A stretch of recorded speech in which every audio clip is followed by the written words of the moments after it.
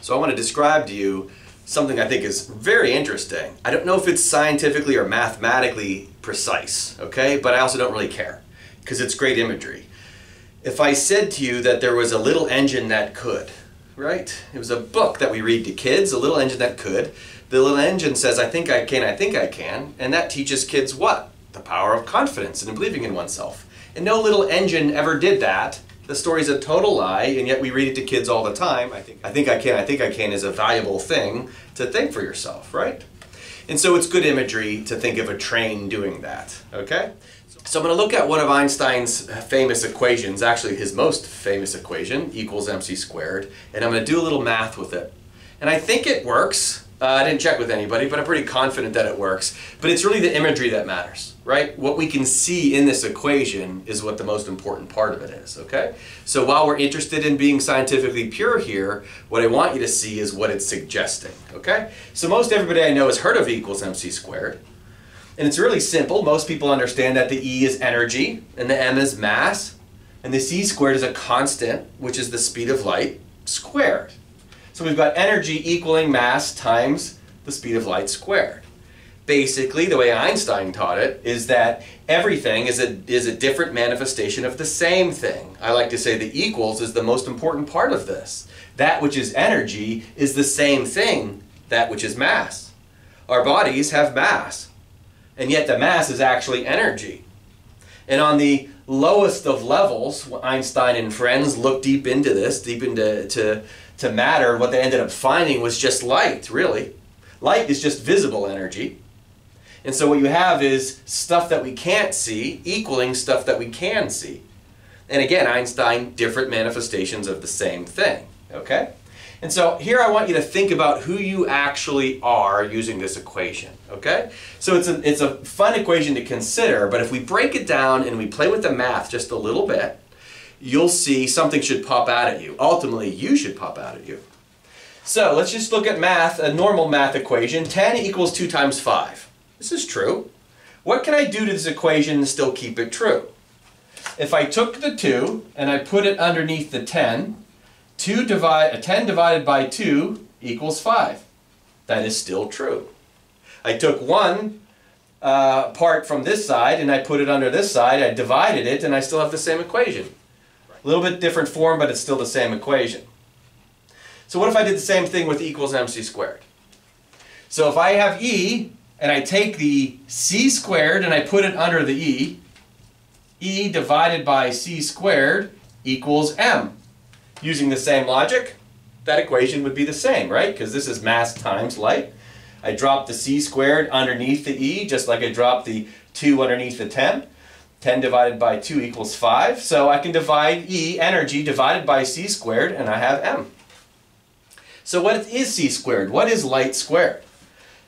Light squared is 700 million miles per hour. Okay? It just means a really, really big, fast number. And if I take energy and I divide it or reduce it, because when I take 10, I've reduced it by half to get a 5. If I take energy and I reduce it by a really, really, really fast number, what happens? Mass shows up. So if you think of E being you, your eternal you, your spiritual you, your soul, the spirit, all of that, if you think of that, because that's energy, and you reduce that energy by a huge number, meaning if we slow it down, up pops your body. Because that's what M is. You are mass. And so what are we? We are spiritual beings reduced, slowed down energetically. We're slowed down and now we're bodies. Now that's looking at equals mc squared, having a little fun with it. I hope it works mathematically, but it certainly works visually. Uh, to, to use the imagery to see what are we really. We are energy beings slowed down significantly and now we're walking around as bodies. Let's see if this correlates with spiritual teachings. Of course it does. Krishna in the Bhagavad Gita says you should elevate yourself by the self. Elevate yourself by the self. What does that mean? Well, once you've been reduced into physical form, you're still the energy. You're just slowed down spirit. And so your true self is here right now. All of us are spiritually our souls right now, but you're also a body. Now we have two selves though.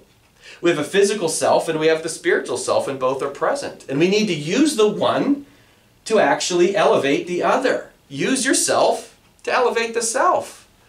We are given a physical body for spiritual development purposes. The Course of Miracles says, use the flesh to teach the spirit. Jesus describes the physical world as the footstool and the kingdom of heaven as the throne. What you are is the E, slowed down into matter. And so you have to use the one self to elevate the other self. That's what we're here to do.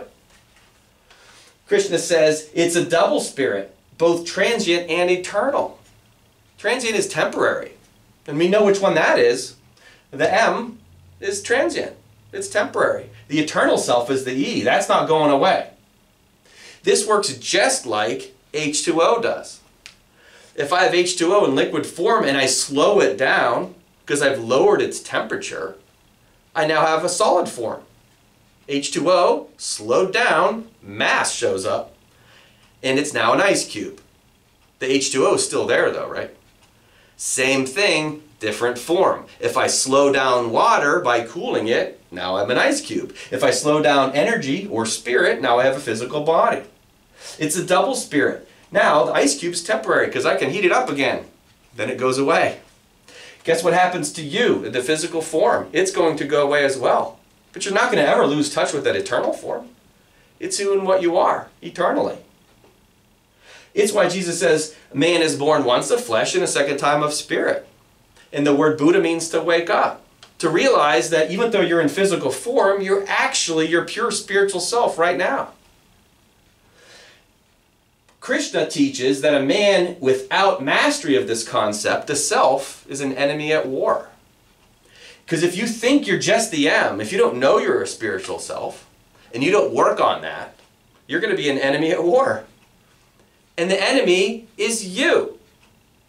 Jesus eventually teaches we must love our enemies. He's talking about this dynamic. You are fighting yourself. You are both spiritual and physical at the same time, but what you are is eternally spiritual. And if we forget that and we fall in love with the M, which basically is the ego, if we fall in love with the physical self and we spend all our time judging that physical self and comparing it to others, either favorably or unfavorably, I'm better than you, you're better than me.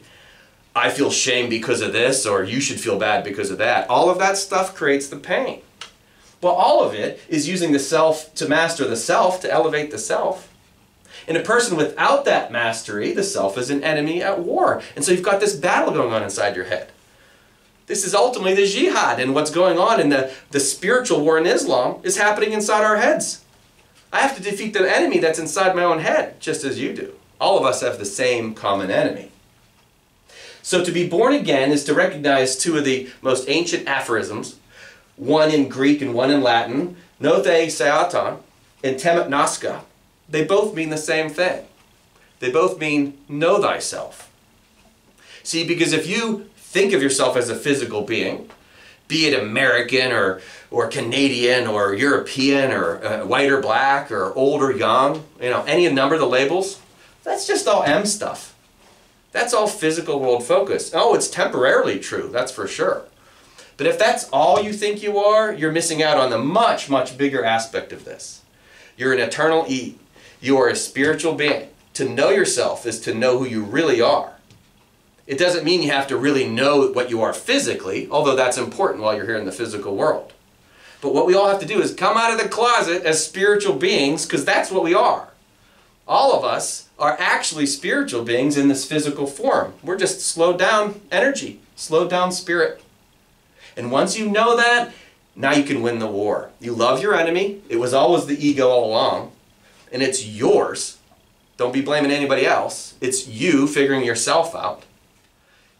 Once you figured that out, you've unified this double spirit inside yourself. Now you can proceed peacefully the rest of your life, knowing that your eternal spiritual self is never far away. And now you have a much more peaceful physical self. It's really the essence of being a peacemaker. It's not about bringing peace to war on earth because that's not going to happen. It's a messy place down here. But the peace is when you find it inside yourself. When you rectify the difference between the spiritual eternal self, the energy that you are, and the temporary fle- flesh self, the physical self that we think we are.